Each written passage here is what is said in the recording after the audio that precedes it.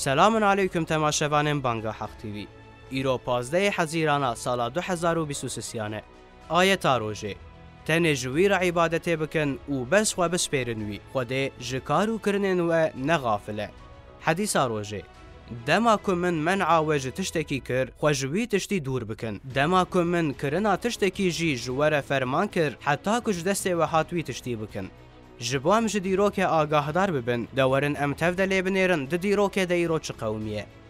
Şesid û bîst û didu. Azana ewel hat xwendin. Heta sala ewel a hicretê Azana Şerîf ji bo nimêjan ned hat xwendin. Piştî hicretê ji ber ku hejmara mislimanan zêde bû û îxtiyac bi tiştekî ku pêgazî mislimanan a ji bo nimêjê bikin hebû, Resûlê xwe da Azana Şerîf a ku Hezretî Ömer û Abdullah bin Zeyd di xewna xwe de dîtibûn bi Hezretî Bilal da xwendin. د دیروکا انگلستان ده سر هلدانا گندیان یا یکمین بمرنا سروک وان یه بناوه وات تیلر بداوی بو. 1826 و حیسد و ینی یعنی چریان حات را کرن ده تشکیلات اکه بناوه آساکری منصوری محمدی هات ساس کرن. حزار و ویل هلم دویمین بو ایمپاراتور آلمانیه.